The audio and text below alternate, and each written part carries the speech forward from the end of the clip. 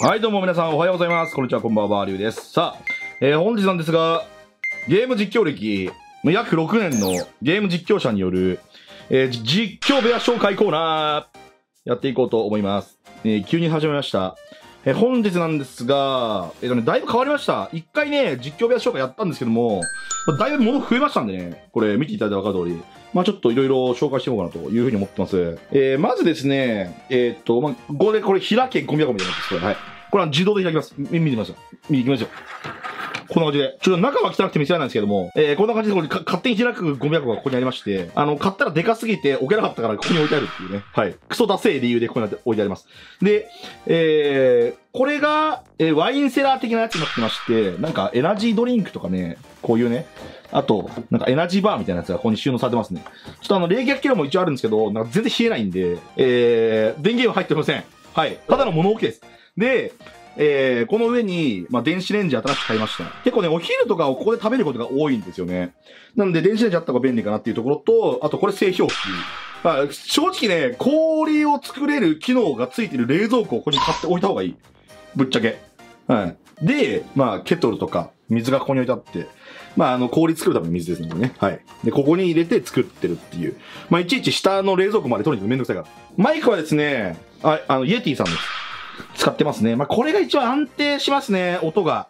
はい。とても、あの、気に入ってます、このマイクは。えっ、と、マイクアームね、これ、どこ社製なんかな、これ。これ、これね、ちょっとあの、あの、書いとくわ。外、あのーテロップで付け出しとくわ。これね、めっちゃいいです、これ。これなんでかっていうと、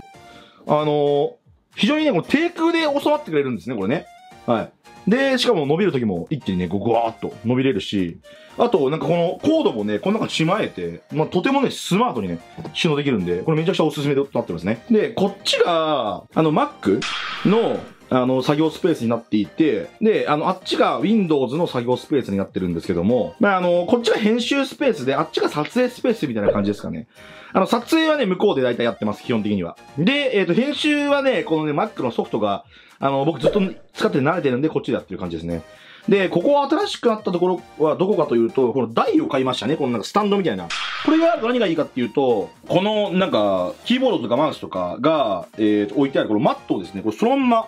れ収納できるんですよ、これね。はい。こんな感じで。はい。まあちょっと片手だからすごいやりにくいけど。こうすると、あの、机のスペースがめちゃくちゃ空くので、まあここでいろんな書き物とか、あーそれから、まあ、あの、ご飯食べるとか、そういうのができるんで、これめちゃくちゃ便利で。で、これ使うときもこれ下げられたりとか、これ。はい。あ、で、あの、キーボードと、あとそれから、まあ、マウスは、僕はあの、有線じゃないと、絶対ダメなタイプなんで、まあ、有線を使ってますね。これ電源切れるのマジでめんどくさいんで。で、新しく購入したものはこのモニターライトですね、これ。これがあると、なんかね、画面めちゃくちゃ見やすいんですよ。体感500億倍ぐらい見やすくなる。で、このボタンでね、あのーなんかこれかっこいいボタンで、こう、あのー切り替わったりとか、あ光量も調整できたりとかするんで、これめっちゃ便利ですね。はい。iPad とか iPhone はここに、まあ、一応充電してまして、えー置くだけ充電みたいなやつは、僕あの、結構、あの、カードとか入れてるので、あの、無理なんですよね。なんで、えっ、と、普通にこうやって、あの、物理で、物理ケーブルで充電してまして。iPad はあれですね。あの、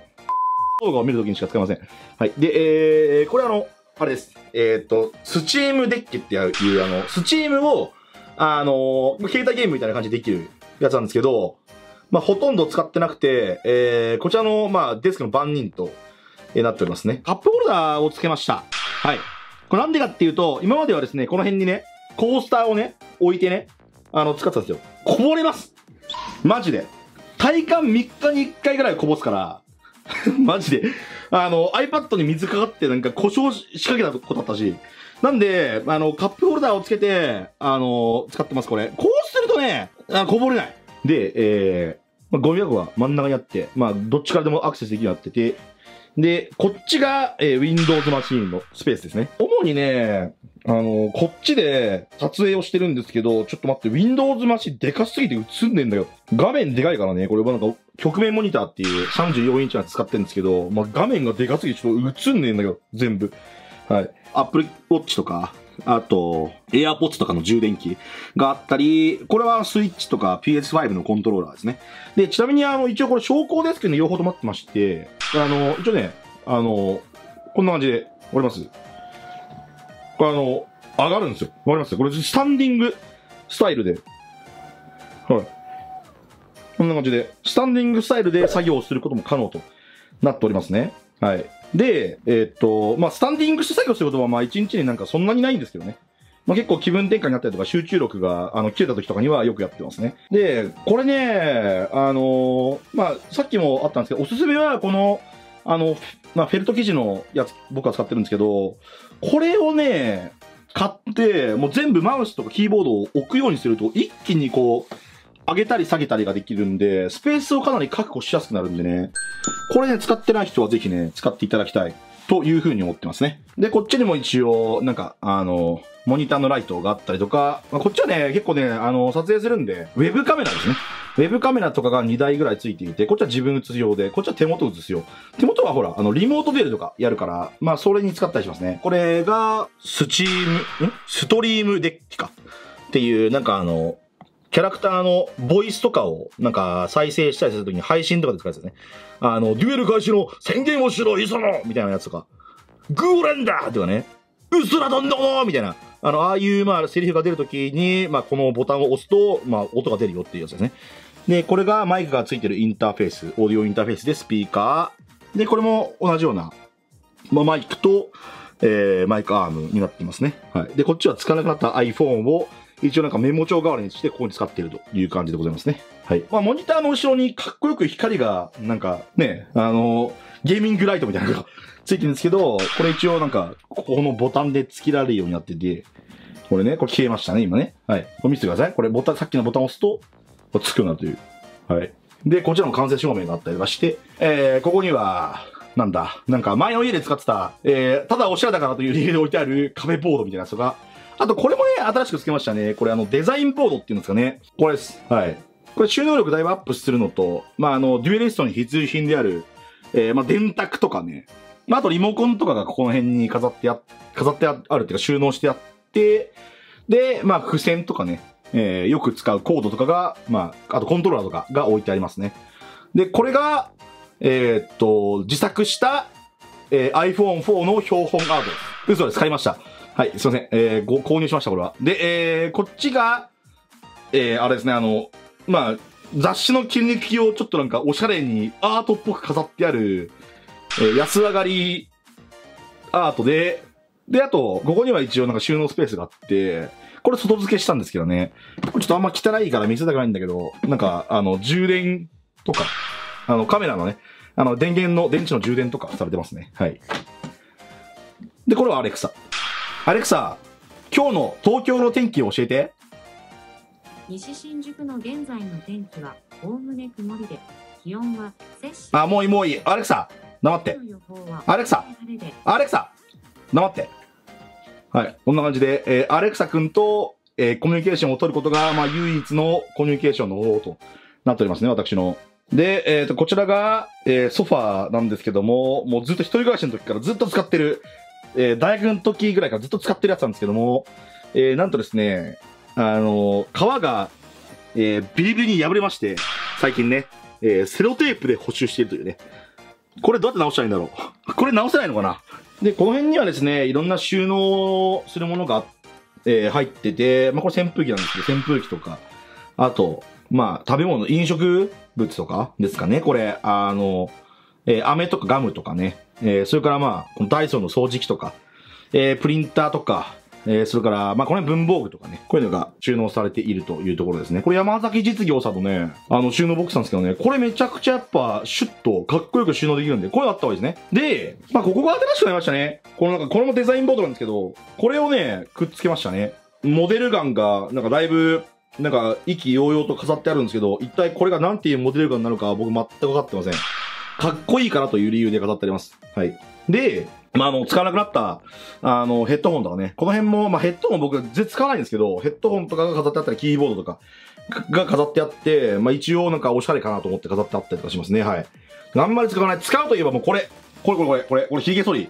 これはよく使いますね。一番、一番この、これとあとこの、あの、ネルフ式鏡。はい。これでよくここに置いてね、ヒゲを剃ってるんですよ。はい。朝ね。で、えっ、と、一応チャンネル登録10万人突破してるんで、僕、こんな僕みたいな実況者、実況チャンネルでも、えー、まあ、銀の盾飾ってあったりとかしたり、あと芳香剤、芳香剤なんか、あの、部屋の、あの、匂いがいい感じなやつが飾ってあったりとか、あとこれですね。これトニー・スタークのアークリアクターですね。はい。これ、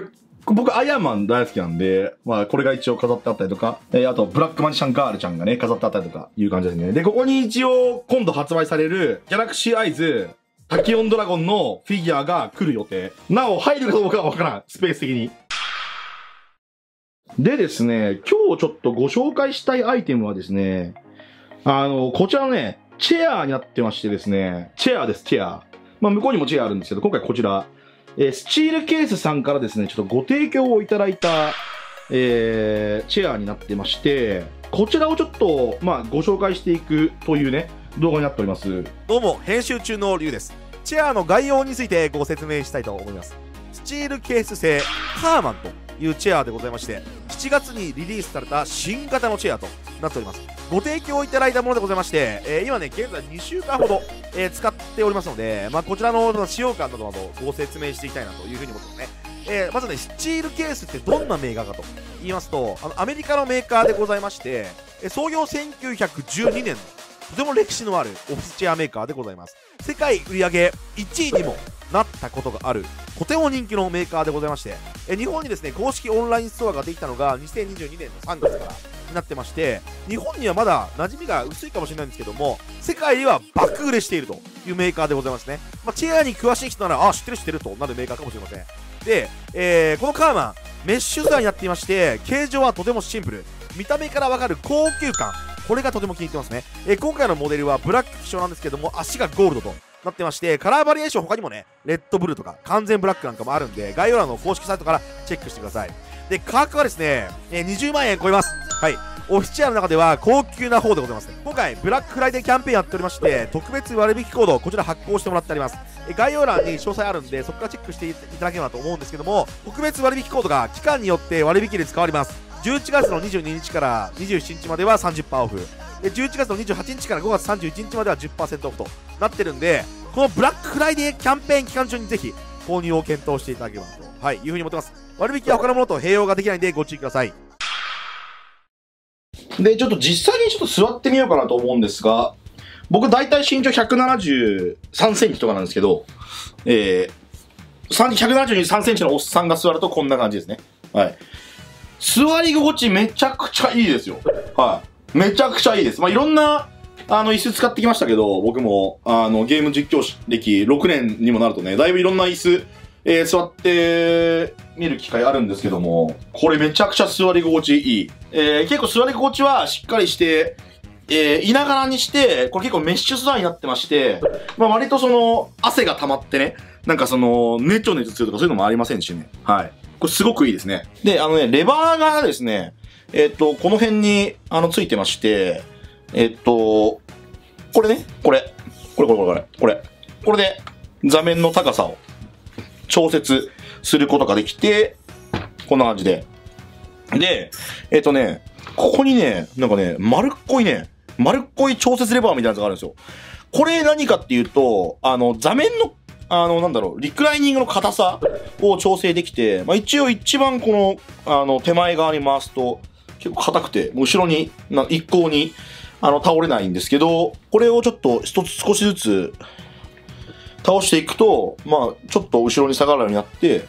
で、一気にこう、後ろまで行くと、ぐーんと、ギューンと行くようになるみたいな。まあ、こんな感じですね。でね、これすごいのはね、ここのね、アームレストのとこなんですよ。これ 4D アームっていうらしらしいんですけど、あの、まあ、素材はね、ちょっと硬めのまあ、や、あの、素材になっていて、まあ、ただ、押すとこんな感じで、あの、凹むようになっていて、あの、腕は乗せてても全然使えないですね。で、えっ、ー、とね、これね、すごいですよ。角度。まず、この、こっち側にこう、斜めにね、まず行きますと。斜めに行きます。で、さらに、上下にも、上下にも行きます。で、えー、っと、横にも、横にも、これね、こう、横にも、横にも移動します。で、えー、この下にね、ボタンがあるんですけど、これを押すと、まあ、えー、上下にも動きますということで、あのね、マジでどんな腕の角度の人でも、あの、綺麗に収まるようにできてます。このアームマジで使ってみて、まあ大体今2週間くらい使ったんですけど、これめちゃくちゃ便利でしたね。この 4D アームという、えー、アームはね、めちゃくちゃ良かった、使ってて。で、これね、背もたれはね、メッシュ生地になってるんですよ。一応メッシュの後ろに、うんと、なんか入ってるとかいうね、あの、のもなくて、本当にこれメッシュだけの素材になっているんですけど、一応ね、フレームがね、まあちょっと柔らかいんですよね。まあ、あのーめちゃくちゃ硬いわけじゃないというか、えーっていう生地になってるんで、そんなにね、あの、座ってても疲れない感じしました。はい。ちなみにクッションはね、あの、クッションももちろんメッシュになってるんですけど、メッシュの、なんか下にね、えっ、とね、